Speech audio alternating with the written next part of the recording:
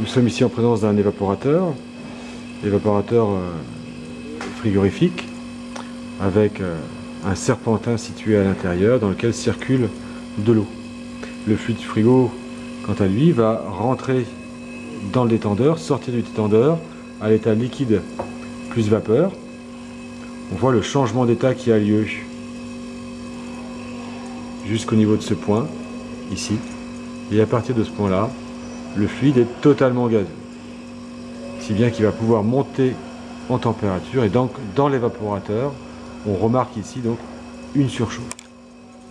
Si je modifie le débit à l'intérieur de l'évaporateur, donc si je le diminue de moitié, l'échange va de lui-même diminuer, le débit à l'intérieur du serpentin ici va diminuer.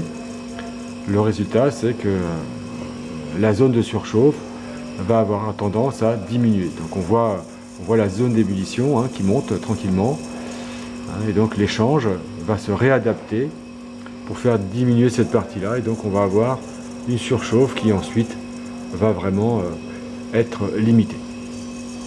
Et cette surchauffe, elle a lieu dans l'évaporateur. Une deuxième surchauffe apparaîtra en sortie évaporateur dans la conduite d'aspiration.